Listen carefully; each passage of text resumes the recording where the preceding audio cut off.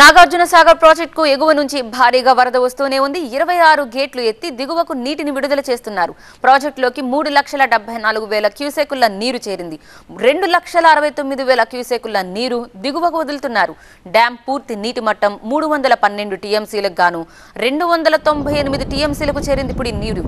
ఐదు వందల తొంభై అడుగుల నీటి మట్టం గల ప్రాజెక్టులో ప్రస్తుతం నీరు ఐదు వందల ఎనభై ఐదు అడుగులకు చేరింది. ప్రస్తుతం గేట్లు ఎత్తడంతో ఈ సుందర దృశ్యాన్ని చూసేందుకు పర్యాటకులు పెద్ద సంఖ్యలో సాగర్కి క్యూ కడుతున్నారు. వాహనాల రాకపోకలు భారీగా పెరగడంతో కొన్ని చోట్ల ట్రాఫిక్ జామ్లు కూడా కనిపిస్తున్నాయి.